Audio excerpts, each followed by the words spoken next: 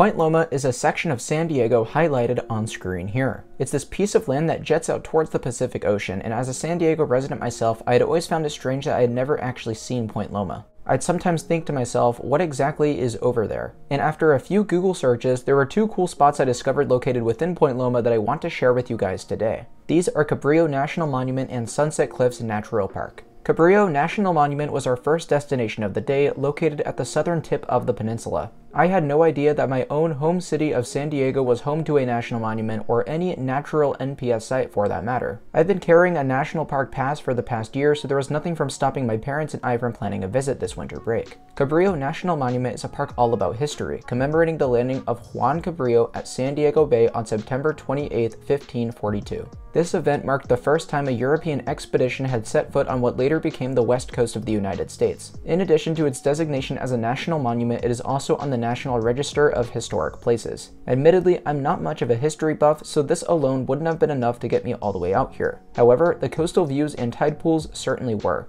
Learning about the history was just an added bonus on top of that. The park is divided by what I'd consider to be two halves. You've got the upper parking lot and the lower parking lot. The former is where we spent the most amount of time at and is home to Cabrillo National Monument's Visitor Center as well as its most recognizable architectural landmarks and the park's only major hiking trail. We started by taking in the views from the two most visited overlooks, one of which is located right where the famous Cabrillo statue is outlooking San Diego Bay.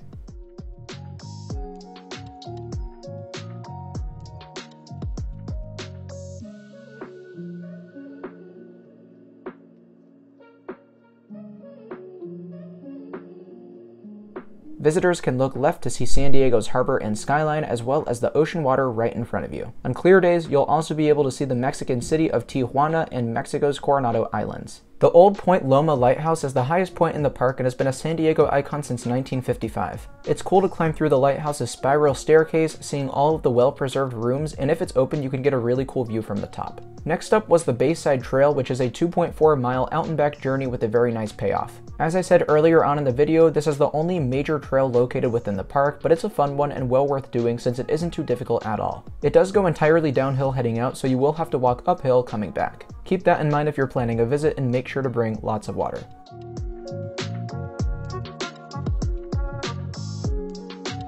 The Bayside Trail hugs the water for the majority of the hike. It's a great spot if you love birdwatching or boat watching.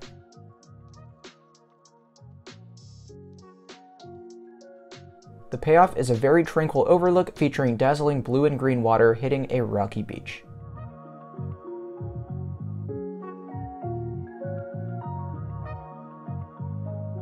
Though Cabrillo National Monument was quite busy during our visit, there weren't a whole lot of people on the Bayside Trail, which I really appreciated. Now earlier, I mentioned that the park was divided into two halves, an upper lot and a lower lot. If you head down to the lower lots, you'll be able to explore my favorite section of the park at the tide pools. Be sure to check the times the tide pools are most visible up at the visitor center. For us, it was best to explore from 1 to 4.30 p.m. and we were down there by around 2. There was no shortage of awesome wildlife greeting us at the bottom. From just the parking lot, it was easy to spot seals and sea lions bathing in the sun. They're by far one of my favorite things about the coastal areas of San Diego. Then you can take a nice short little trail down to the water to explore some tide pools. A lot of the cliff formations jetting into the ocean reminded me a lot of Torrey Pines State Reserve, which has always been one of my favorite spots in San Diego County. Easily my favorite part of Cabrillo National Monument was seeing all of these different creatures at the tide pools, including sea urchins, crabs, and lobsters. Enjoy the footage I got of the wildlife and always remember to leave them undisturbed as they're protected under federal law.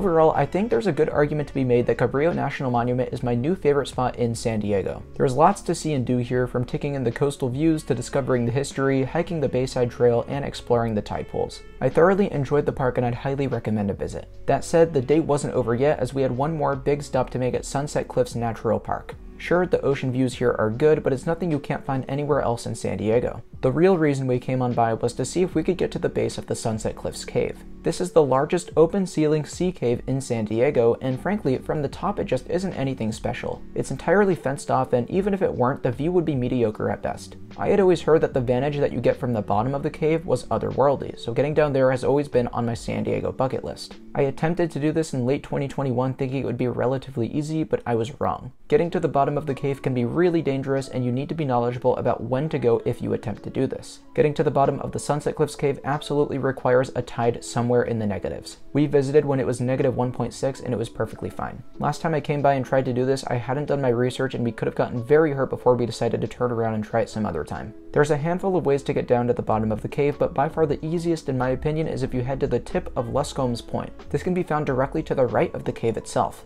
Once you get to the end, you'll carefully climb to the bottom and rock hop until you reach the beach adjacent to the cave.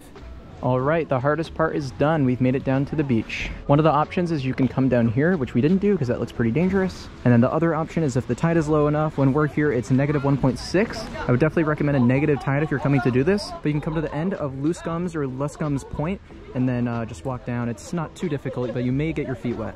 From there, it's a super easy short walk to your destination.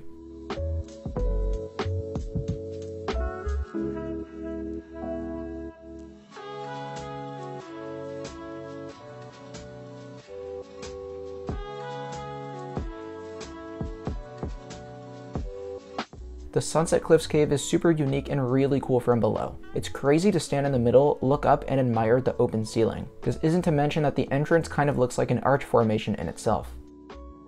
Well, we made it into the sea cave. That's something I've wanted to do in San Diego for a long time. Finally, one of my bucket list items checked off.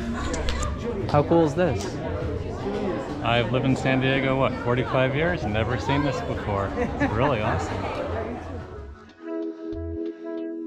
After taking in the cave, we enjoyed walking along the beaches and seeing some tighter, narrow caves before the tide started to become less favorable. Something that I noticed heading out was this really cool sea slug, which I had never seen in the wild before. This big black thing was a living creature and it would have been so easy to mistake it for a rock or something similar. But nevertheless, I'm really glad I got to see it and especially to gently touch its back and feel how slimy it is. We tried taking this tight cave heading back to Luscombe's Point, not really knowing where it would take us. We just followed a bunch of other people, partially because we wanted answers as to how it was so busy with people including many aged 7 to 10. I didn't understand how it was so possible for the youngsters to get down here considering how inaccessible it is. And even after making it all the way up by climbing these rocks, I was still left scratching my head. Either way, I'm glad lots of people were able to enjoy it. It's a cool spot that I'm glad I was finally able to check off my San Diego to-do list. To wrap up our day, we made a visit to a burger joint I had recently discovered called Hodad's. It's located in Ocean Beach, so it wasn't far out of the way to get back home for us. The place had a really wild vibe to it, but the food was delicious. I got a single cheeseburger for $9 and it was one of the best burgers I've had in a while. Then the sun began to set on an awesome day of exploration in Point Loma. If any of you live in San Diego or are looking to visit, I hope you'll use this video as a guide to help plan an exciting day. I have lots of other videos from San Diego County already up on the channel and I hope to post more in 2023. If you haven't already, feel free to check out my videos from Torrey Pine State Reserve, Potato Chip Rock, and both episodes from Anza Borrego Desert State Park. Thank you all so much for watching, and I'll see you very soon. Bye, guys.